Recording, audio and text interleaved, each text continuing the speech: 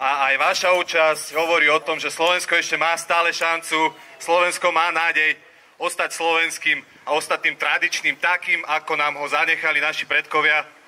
A už 25. maja to bude na vás. Bude to na vás, či Slovensko ostane skutočne takým, ako ho väčšina z nás chce mať, alebo odovzdáme tým, ktorí stoja za nami. Dnes sme sa tu mali pôvodne stretnúť v normálnej, kultivovanej atmosfére v nejakej zasadacej miestnosti, kde by sme slušne si porozprávali o tom, o čom naozaj je Európska únia. Že to nie sú len eurofondy pre vyvolených, pre špičky napojené na vládu, pre podnikateľov, ktorí majú známosti. Že Európska únia v praxi to sú títo ľudia oproti, ktorí majú plné reči lásky, tolerancie a podobných vecí, ale keď príde na rešpektovanie iného názoru, zakázať, cenzurovať, nedovoliť, proste omlčať, zavrieť, rozpustiť.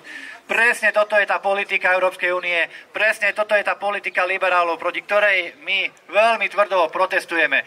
Nikto z ľudí oproti vám nepovie, že Slovensko je totálne potravinovo zdevastované, naše polnohospodárstvo je na kolenách.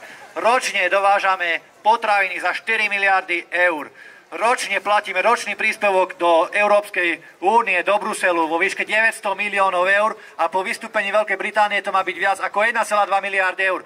To je viac ako 1000 eur na každú z vašich rodín.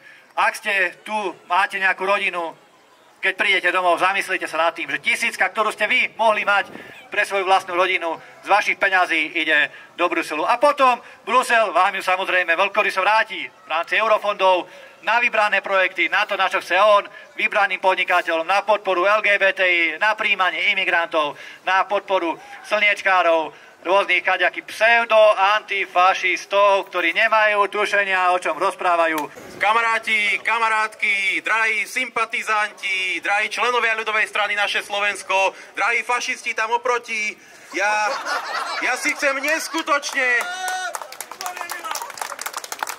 Ja sa vám chcem neskutočne poďakovať za to, že ste sem prišli. Ja som počul, že tu majú nejaké nejaké proste mekeke, nejakú oslavu tu naši kamaráti za nami, že jednoducho toto bude rušné, ale keď vidím, koľky ste prišli aj napriek tomu, že pán primátor urobil všetko preto, aby zrušil riadne, legálne, demokraticky, legitimne zvolenej parlamentnej politickej strane mýtnik,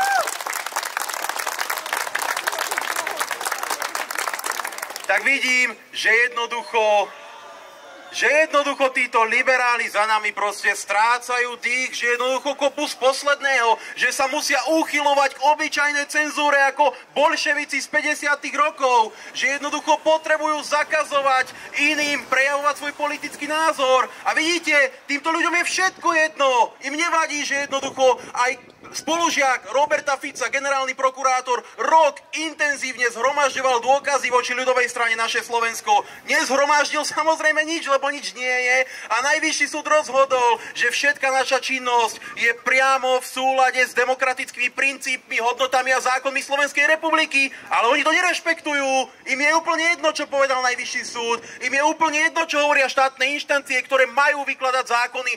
Oni si zákony vykladajú po svojom.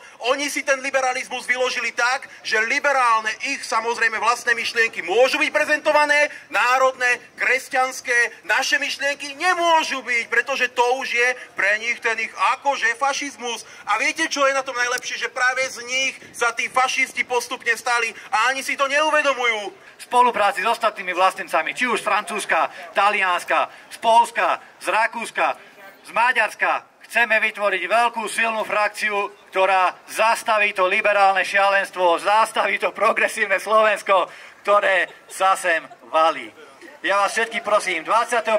mája nesete doma, nesete doma, nechoďte hrabať trávičku, nechoďte sadiť do záhrady, ale naozaj poďte k tým volebným urnám. Máme jedinečnú príležitosť dať tým liberálom konečne príočku, akú si zaslúžia, pretože páni za nami a dámy za nami na čele s Irenou Biháriovou z Progresívneho Slovenska, pánom Vieskupičom, pánom primátorom a všetkými ostatnými si totiž to nič iné ako poriadnu príročku nezaslúžia.